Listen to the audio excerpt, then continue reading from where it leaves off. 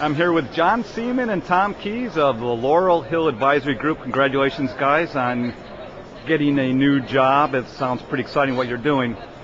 I got to tell you, you guys are my favorite part of coming to the conference is seeing these two guys.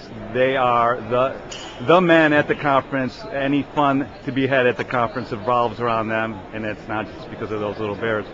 Uh, do you guys have a rap song yet? We're working on one. We're working on one.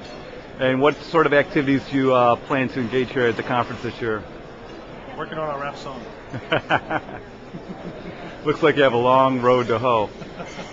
Don't say no. Yeah, don't say oh. What about what's one of your favorite moments from past conferences? Oh boy, it's winning the golf tournaments for me. I, I like to win the golf tournaments. I won again this year. Woo! How many years does that have you won? Uh, I didn't win last year, sadly. I guess six out of the last eight.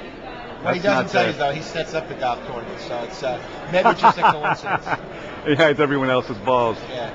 Well, thanks, guys. Good luck with uh, Laurel Hill. Good Thanks luck a to lot. Brock. Take it easy, Brock. He